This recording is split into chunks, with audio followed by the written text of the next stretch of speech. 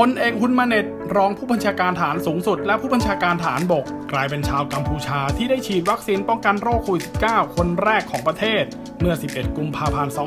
2564 หลังวัคซีนจากซีโนฟาร์มของจีนล็อตแรก 600,000 โดส เดินทางมาถึงกรุงพนมเปญเมื่อ 7 กุมภาพันธ์ที่ผ่านมา จากทั้งหมดที่จีนบริจาคให้ 1 ล้านโดส ขณะที่สมเด็จอัครมหาเสนาบดีเดโชฮุนเซนนายกรัฐมนตรีซึ่งทีแรกมีกำหนดจะฉีดเป็นคนแรกของกัมพูชา แต่ทว่าได้เปลี่ยนแผนโดยอ้างว่า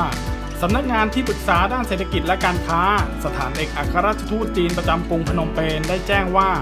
วัคซีนของซีโนฟาร์มสามารถฉีดให้แก่ผู้ที่มีอายุระหว่าง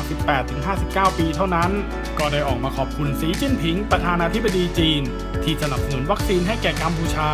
โดยให้พลเอกคุณมาเน็ตบุตรชาย ฉีดเพื่อยืนยันความรับผิดชอบต่อเพื่อนร่วมชาติ พร้อมฝากถึงชาวเขมรทั้งในและนอกประเทศว่า ไม่ต้องกังวลว่าวัคซีนจะมาจากชาติไหนหรือยี่ห้อไหน แต่ควรกังวลเรื่องไม่ได้ฉีด หลังพบพลเรือนในชาติพัฒนาแล้วกว่า 98%ยังไม่ได้รับการฉีดวัคซีน แม้ชาติเหล่านั้นจะสามารถจ่ายวัคซีนได้ โดยย้ำว่าการฉีดวัคซีนเป็นทางออกเชิงยุทธศาสตร์ที่สำคัญในการปกป้องชีวิต กระตุ้นการฟื้นฟูเศรษฐกิจ และปรับปรุงคุณภาพชีวิตของประชาชน ขณะที่กัมพูชาได้เริ่มฉีดวัคซีนใน 4 โรงพยาบาลในกรุงพนมเปญให้แก่เจ้าหน้าที่สาธารณสุขและทหารเป็นหลัก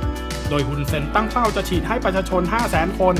ก่อนถึงเทศกาลปีใหม่เขมร เมษายนนี้จากประชากรทั้งหมดราว 16 ล้านคน นอกจากนี้ยังมีแผนพิจารณาจัดซื้อวัคซีนจากสหรัฐอเมริกา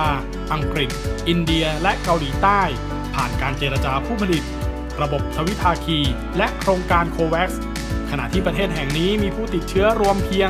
474 คน รักษาหาย 456 คน ไม่มีผู้เสียชีวิต